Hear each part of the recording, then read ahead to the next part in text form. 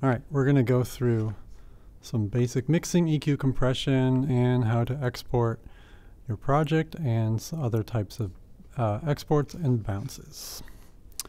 So the first thing we're going to do is automation. When you click on this icon or you hit the A key, automation appears. And it gives you some information as to what the automation will do. So right now it's going to read automation and we'll kind of go into a way that we can actually record automation what it is you're automating. And then it gives you the level or the number that is the automation is reading. So we can do a basic volume automation. So this will be like a, a fade in.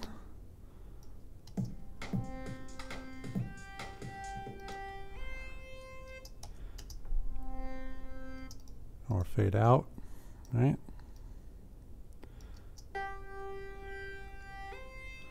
You can also adjust the overall level, so you don't have to use your fader now to adjust that. You can do it in your automation, and you can do it over time. Right, or maybe that's not loud enough, you can bring it up.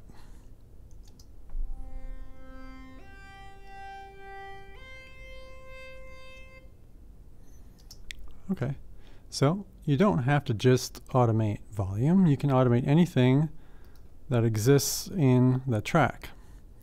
So it could be something about the synthesizer. Could be something in your smart controls, or you can add an effect. So we're going to add EQ, which is always good to add when you're at the end of your session and you're starting to mix and work with tracks, then adding EQ is a good effect. And when you look at the EQ,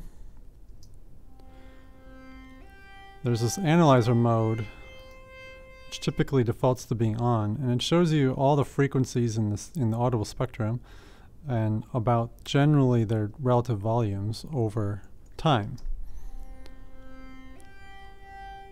So I'll show you, let's say we didn't like our our volume EQ, you can always delete, sorry, volume uh, automation, you always delete um, a point by just selecting it and then hitting delete, or selecting a group of points like I just did, and Oops. Oh. There we go. And, hey, come on. Delete. Alright, so if I go into my EQ and I change the, um, the low end here,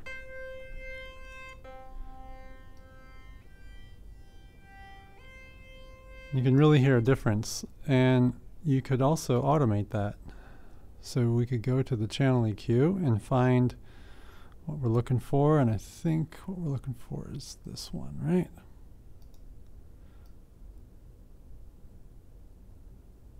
Okay, so there is our low shelf, and let's just bring it down here. Yeah, okay. So let's say we wanted to automate that over time, so it gives this sort of closed door effect. Okay, so now we can automate that.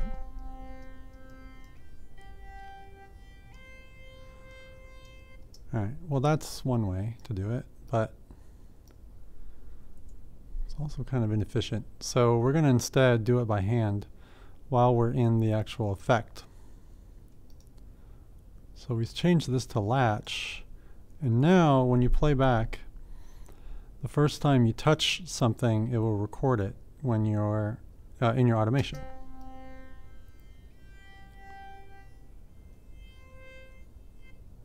Right, and that way now you can sync it to something that you hear or sync it manually.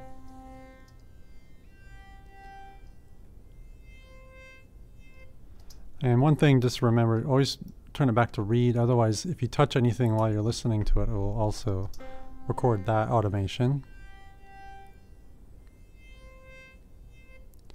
Okay, and you can still edit if you want to. You can go in and edit the dots, the points, if you really want to. Right, that's not out of the realm of possibility. You can select points and delete them. Um, it's not it's not forever, and if you don't like what you did, Right, remember you can just select all the points and redo it. Okay, so that's what latch does. Okay, so that's that. Now in the EQ view, we see something here. It says Analyzer Post and Pre.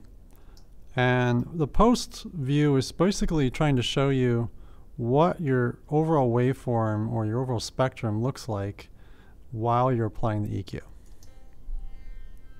So you can see kind of the low end and high end start to fade out as you change the EQ. But if you did it in pre, it's showing you what the actual waveform looks like without any EQ applied. So you can see that low end is much louder. And when we bring it back in the post, it shows you how much you've reduced it by. So it gives you an idea of what the EQ is actually doing while you're applying it. You can also turn off the effect and listen to it without any EQ.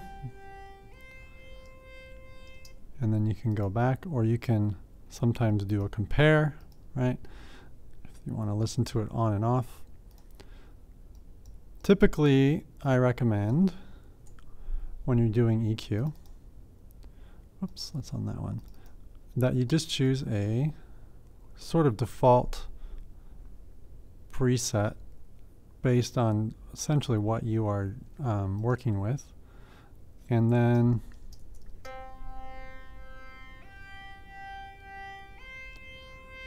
you can get a sense of how that sounds and then you can start to adjust accordingly and using this analyzer really helps you kind of pinpoint where you should apply your EQ. So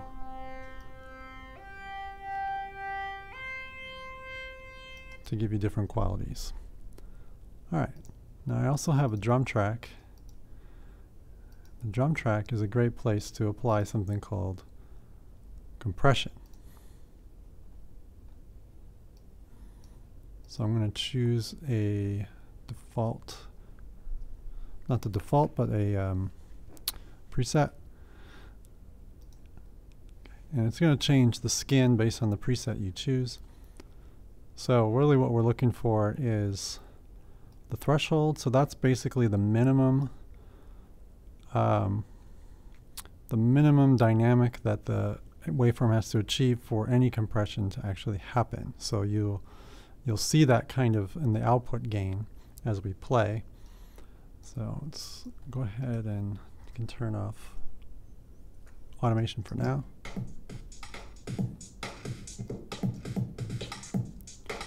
So if I, if I bring the threshold down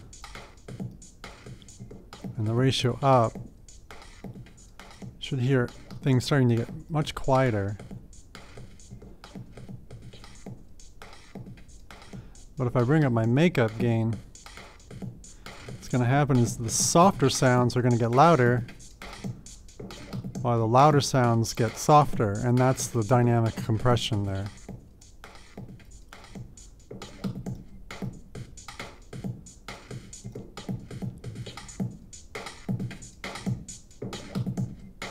So it really depends on what you're trying to achieve. But one thing you're going to notice is that as you start adding up all these tracks, whoops,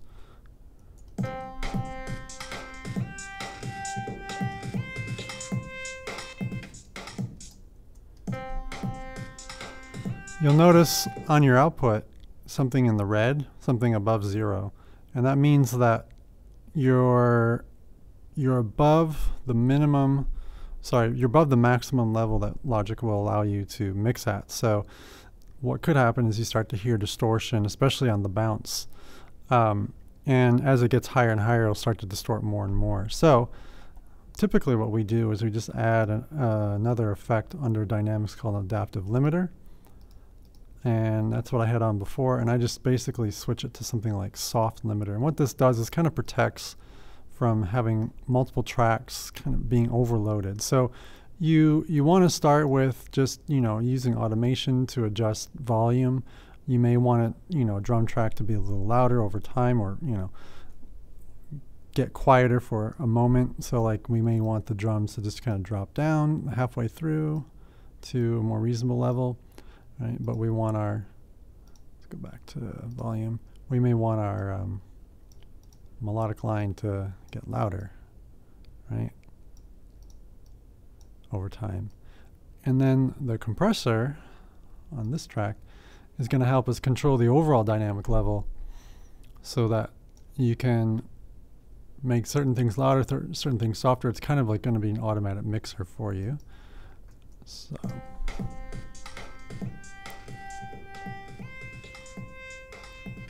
Okay, so now we're not overdriving at all, and with help of changing the volume curves, um, adding on our limiter, and now our tracks will mix well when we bounce them.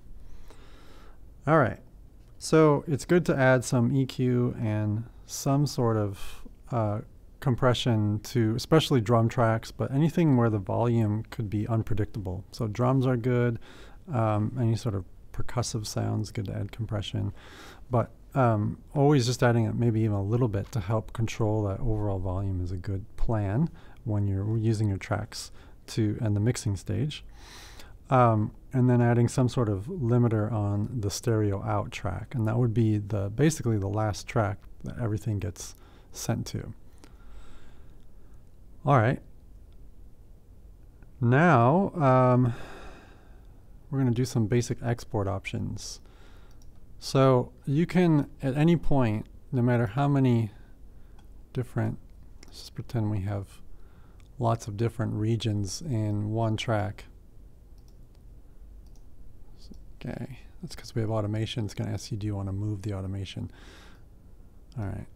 So uh, it's going to do that again. Okay, don't move. Don't show this again. Okay. So let's say I just want to export this single region as an audio file. Let's say that I'm kind of working and I, I want to use this later in something else or add it to my loops library. So what we do is we right we right click by or control click and if you go to the export option you can do several things here. You can export and add to the loop library. You can export as an audio file and that's really what we want to do first or you can export it as a MIDI file and use it in another project.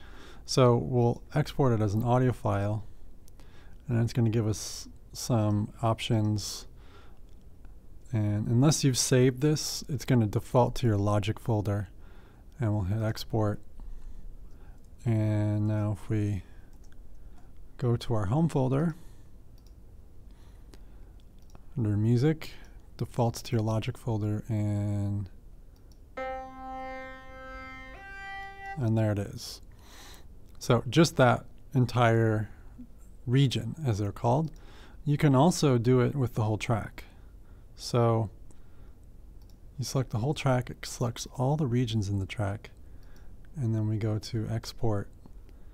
and we can do select three regions as audio files or select one track as audio file. So if we do either of those, it should do the same thing, but when we select the one track, it allows you to trim the silence. So if there's anything else happening later in the in the um, in the song, it will just trim it to the track. You can also not have it do that, and you can have it basically export cycle range only or the file length to the project end. So that's basically for the whole length of the project.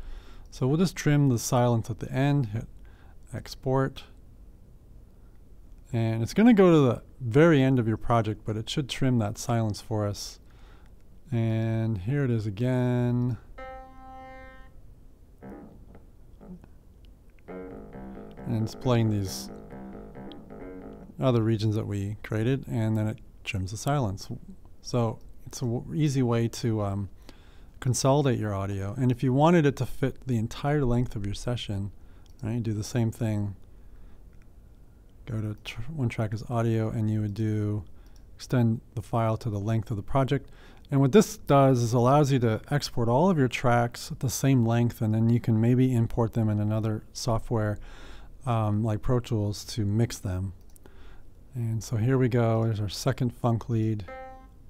And you see there's all that silence, bunch of silence at the end. That's typically not what we want, but you may want that if you're doing any sort of um, mixing stage.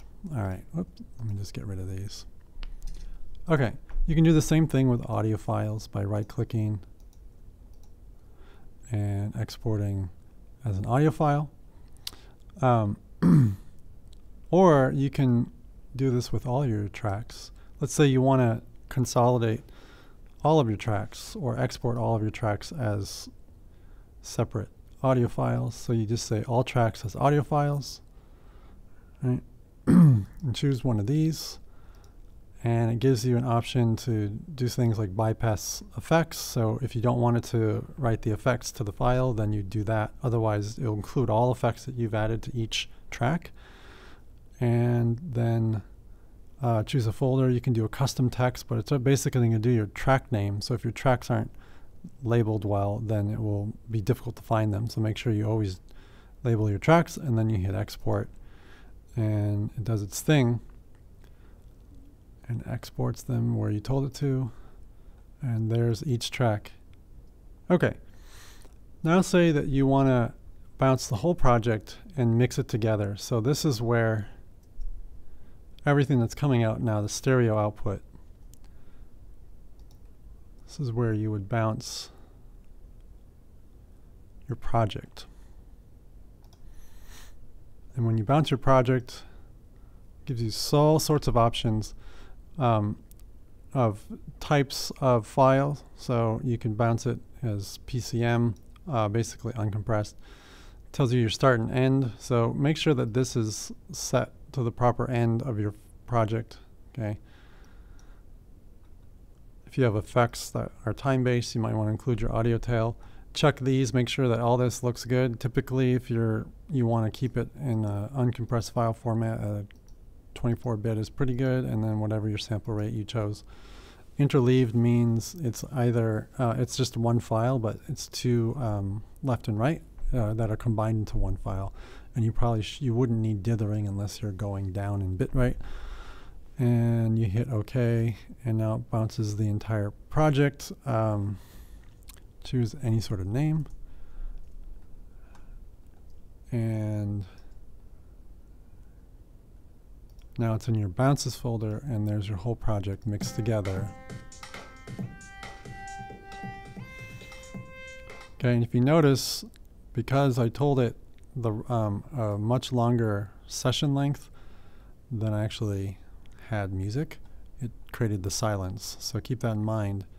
I told it to end somewhere like way down here where there's nothing there. So it's going to bounce all that silence. It doesn't know not to do that unless you tell it to. Okay?